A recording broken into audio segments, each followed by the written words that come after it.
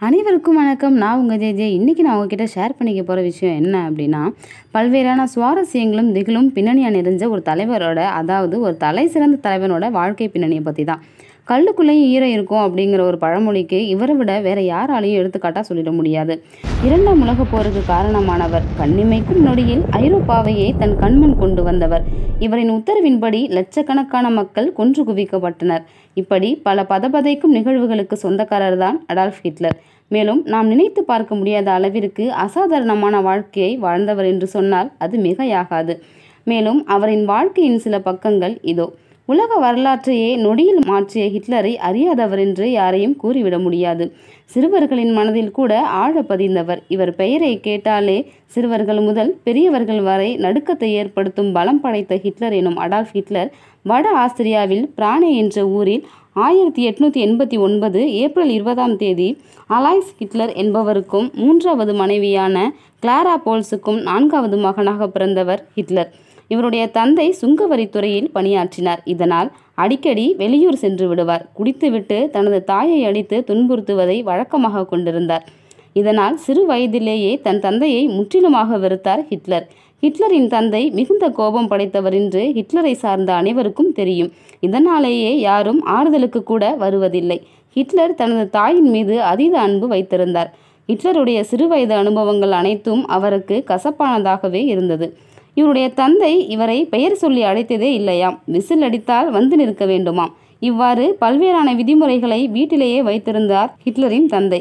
Hitler வருங்காலத்தில் ஒரு சுங்கவரி அதிகாரியாக பணிபுரிய வேண்டும் என்பது அவர் தந்தையின் விருப்பம். ஆனால் ஹிட்லருக்கு தான் ஒரு தலைசிறந்த ஓவியராக வேண்டும் என்பது கனவாக இருந்தது. ஆரம்பத்தில் கல்வியில் சிறந்து விளங்கிய ஹிட்லர் பிறகு கல்வியில் நாட்டமில்லாத மாணவனாக மாறினார்.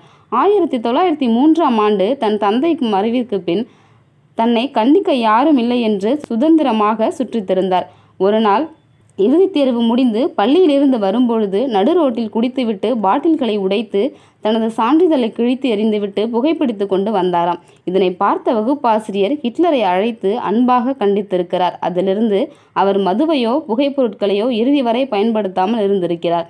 தந்தையின் மறைவுக்கு பின் குடும்பம் வறுமையில் வாடியது.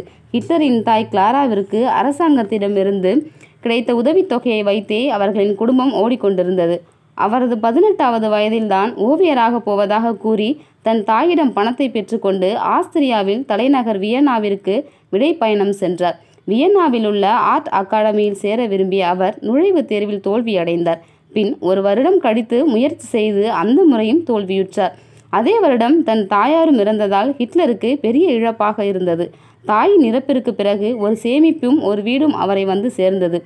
சிறு வயதிலேயே தோல்வியும் ஏமாற்றமும் அவரை சூழ்ந்து கொண்டன. இந்த சேமிப்பை வைத்தே எப்படி வாழ்க்கையை நடத்த முடியும் என்று ஒரு பொய்யான சான்றிதழை உருவாக்கி அரசாங்கத்திடமிருந்து உதவித்தொகை பெற ஆரம்பித்தார். இதுவே அவருடைய முதல் தந்திரம். அந்த தந்திரத்தின் வெற்றியுமாகும். அந்த உதவித்தொகையை வைத்து நாடோடியாக வாழ்க்கை நடத்திய ஹிட்லர் ஓய்வு நேரங்களில் ஓவியங்களை வரையத் தொடங்கினார். பின்னாளில் ஓவியக்கூடம் ஒன்றையும் அமைத்தார். நாளிதழை ஒன்று விடாமல் படிக்கும் பழக்கமும் இருந்தது. அதுவே அவரை அரசியலிலும் ஈடுபட தூண்டியது.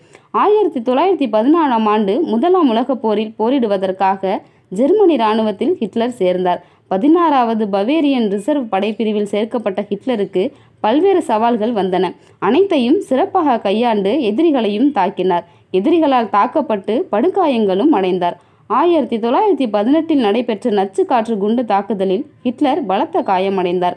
தற்காலிகமான கண் பார்வை இழப்பும் அவருக்கு ஏற்பட்டது. எனினும் தொடர்ந்து ஜெர்மனிக்காக போரிட வேண்டும் என்பதில் மிக உறுதியான நிலைப்பாட்டில் இருந்தார். ஹிட்லர் பிறப்பால் ஆஸ்திரிய நாட்டை சார்ந்தவர் என்றாலும் ஜெர்மனி நாட்டின் மீது அளவு கடந்த தேசப்பற்று கொண்டவராக திகழ்ந்தார். ஆயிரத்தி தொள்ளாயிரத்தி பதினெட்டில் திடீரென்று ஜெர்மனி போரில் சரணடைந்து விட்டது. இதனால் ஹிட்லர் பெரும் அதிர்ச்சி அடைந்தார்.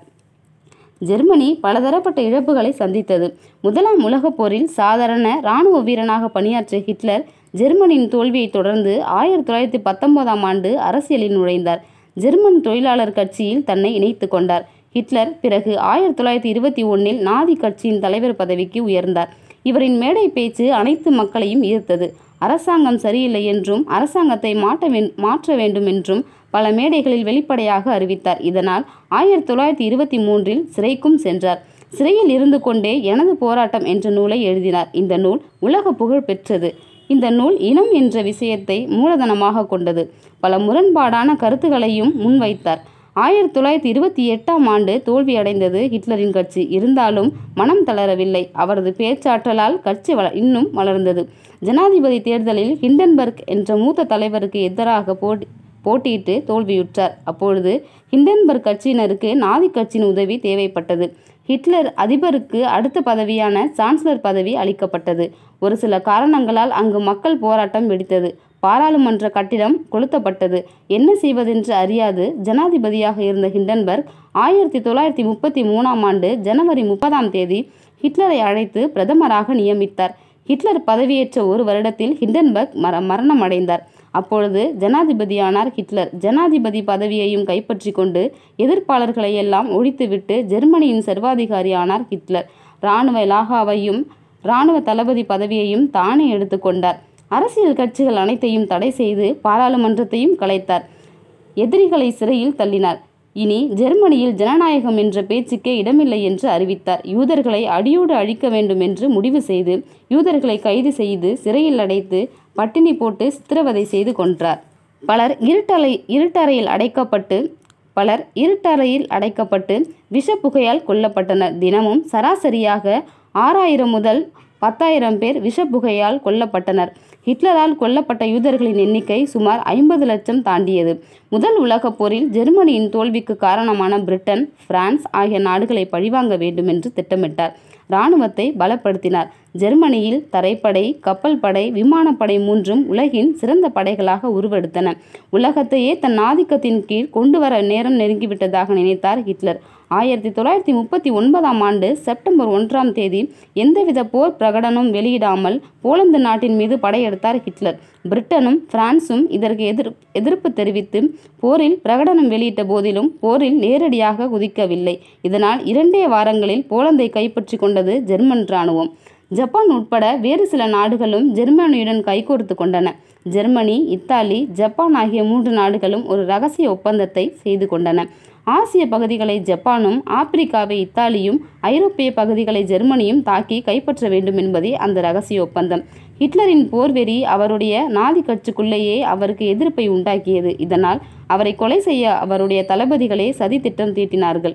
ஆயிரத்தி தொள்ளாயிரத்தி நாற்பத்தி நாலு ஜூலை இருபதாம் தேதி தன்னுடைய தலைமை அலுவலகத்தில் தளபதிகளுடன் ஆலோசனை நடத்தி கொண்டிருந்தார் ஹிட்லர்.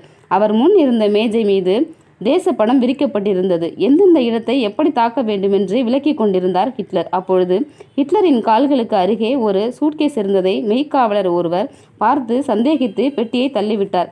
அது தரையில் இருந்து சரிந்து பயங்கர சத்தத்துடன் வெடித்தது. ஹிட்லர் இருந்த இடமே வெடித்தது கட்டிடம் இடிந்து விழுந்தது.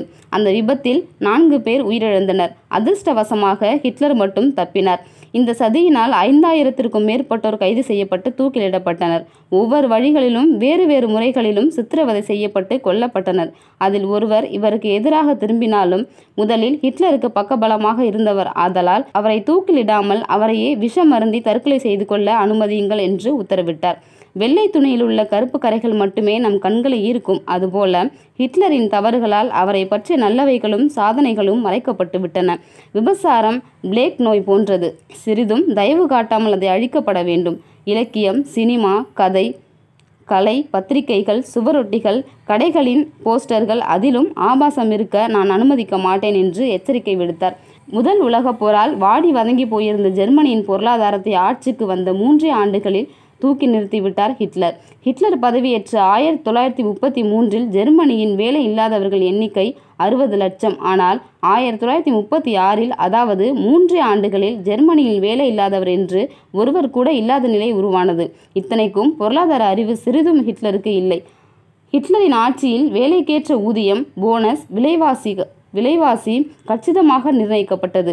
அது மட்டுமல்லாமல் கார்கள் போவதற்கு மிக நீண்ட ஹைவேஸ் ரோடுகள் உலகில் முதன் முதலாக கட்டப்பட்டது. ஜெர்மனியில் ஹிட்லரின் ஆட்சி காலத்தில்தான் முதியவர்களுக்கு பென்ஷன் மற்றும் இலவச வைத்தியம் அனைவருக்கும் ஹெல்த் இன்சூரன்ஸ் திட்டங்கள் வேகமாக நடைமுறைக்கு வந்தன. சாமானியர்களும் காரில் பயணிக்க வேண்டும். அவர்களுடைய பட்ஜெட்டுக்கு ஏற்றவாறு கார்கள் தயாரிக்கப்பட வேண்டும். ஒரு காலன் பெட்ரோலுக்கு அது நாற்பது மைல் போக வேண்டும் என்று ஃபோர்ஜே கார் நிறுவனத்தின் அதிபர் ஃபெர்னாண்ட் ஃபெர்ஸை கூப்பிட்டு சொன்னார் ஹிட்லர். தொழிற்சாலைகளால் சுற்றுச்சூழல் மாசு அடையக்கூடாது என்று சட்டம் கொண்டு வந்தார் ஹிட்லர். இதனால் அத்தனை தொழிற்சாலைகளும் அதற்கான ஆன்டி பொல்யூஷன் சாதனங்களையும் ஃபில்டர்களையும் பொருத்தி கொண்டது. வலி நிவாரணிகளையும் போதைப்பொருள் பழக்கத்திலிருந்து வெளிவர உதவும் மருந்துகளையும் ஹிட்லரின் கடும் முயற்சியால் கண்டுபிடிக்கப்பட்டன. ஹைபோதெர்மியா என்னும் உடல் வெப்பத்தை குறைத்திடும் ஒரு நோயிற்கு தீர்வு கண்டுபிடிக்கப்பட்டது. இவ்வாறு மருத்துவத்துறையில் வியத்தகு முன்னேற்றம் அடைந்தது ஜெர்மனி. ஹிட்லர் ஆட்சி பொறுப்பை ஏற்றபோது ஜெர்மனியின் இராணுவ வீரர்களின் எண்ணிக்கை சுமார் ஒரு லட்சம் தான். அப்பொழுது உருப்படியான துப்பாக்கிகள் கூட இராணுவத்தில் கிடையாது. ஆனால் ஹிட்லர் ஆட்சியேற்ற நான்கே ஆண்டுகளில் ஐரோப்பாவின் மிக பிரம்மாண்டமான ஆர்மியாக மாறியது. நவீன போர் விமானங்கள் பீரங்கிகள் துப்பாக்கிகள் டாங்கிகள் கொண்ட அசுர சக்தியாக ஜெர்மனியின் இராணுவம் மாறிய வேகம் உலகிலேயே அதுவரை நிகழ்ந்திராத பெரிய ஆச்சரியமாகவும் வியப்பாகவும் ஆராய்ச்சியாளர்களால் கருதப்பட்டது. ஹிட்லரின் ஆட்சி மகத்தானவையாக இருந்தது. இவை மட்டுமல்லாமல் பெண்கள் பாதுகாப்பு போன்ற பல திட்டங்களையும் நிலைப்படுத்தினார் ஹிட்லர். காதல் என்ற வசியம் சாதனையாளன் சர்வாதிகாரியான ஹிட்லரையும் விட்டு வைக்கவில்லை. ஹிட்லருடைய நண்பர் ஒரு போட்டோ ஸ்டுடியோவை வைத்திருந்தார். அங்கு உதவியாளராக பணியாற்றியவர் தான் ஈவா பிரவுன் நண்பரின் போட்டோ ஸ்டுடியோவிற்கு அடிக்கடி சென்று வருவார் ஹிட்லர். இருவருக்கும் அங்குதான் காதல் தொடங்கியது. இருவரும் உயிருக்கு உயிராக காதலித்து வந்தனர். ஜெர்மனி தலைநகரான பெர்லியின் ஒரு சுரங்கம் அமைத்து அதில் தங்கியிருந்தார் ஹிட்லர். பாதாள அடியில் கூரை மட்டும் பதினாறு அடி பருமனுக்கு இரும்பும் சிமெண்டும் கொண்டு குண்டு வீசினால் சேதமடைய முடியாத அளவுக்கு மிக உறுதியாக கட்டப்பட்டிருந்தது. ஆயிரத்தி தொள்ளாயிரத்தி நாற்பத்தி ஐந்தாம் ஆண்டு ஏப்ரல் இருபத்தி ஐந்தாம் தேதி பெர்லின் நகரை ரஷ்ய படைகள் சூழ்ந்து கொண்டு விட்டன. விமான குண்டுகள் மாறி பொழுந்து கொண்டிருந்தன. எந்த நேரத்திலும் ரஷ்ய படைகள் பெர்லின் நகருக்குள் புகுந்து விடலாம் என்கிற நிலை. எதிரிகளிடம் யுத்த கைதியாய் பிடிபடுவதை விட தானே தற்கொலை செய்து கொள்வது மேல் என முடிவு செய்து தன் காதலியான ஈவா பிரவுனிடம் கூறினார். அம்முடிவை கேட்ட ஈவா பிரவுன் திடுக்கிடாமல் வாழ்விலும் உங்களோடு இருந்தேன் சாவிலும் உங்களோடு தான் இருப்பேன் நானும் உங்களோடு தற்கொலை செய்து கொள்வேன் என்றார். ஏப்ரல் இருபத்தி ஏழாம் தேதி ஹிட்லரின் பிறந்த நாளையொட்டி பாதாள அறையில் விருந்து நடைபெற்றது. அங்கு ஹிட்லரின் காதலி நண்பர்கள் இராணுவ தளபதிகள் அங்கு பங்கு பெற்றனர். அன்று காலையே தன் அறையை அலங்கரிக்குமாறு உதவியாளர்களிடம் உத்தரவிட்டார் ஹிட்லர். சட்டப்படி திருமணம் பதிவு செய்ய நகர சபை அதிகாரி அழைக்கப்பட்டு திருமண பதிவு பத்திரத்தில் ஹிட்லரும் ஈவா பிரவுனும் கையெழுத்திட்டு திருமணம் முடிந்து விருந்து நடந்தது.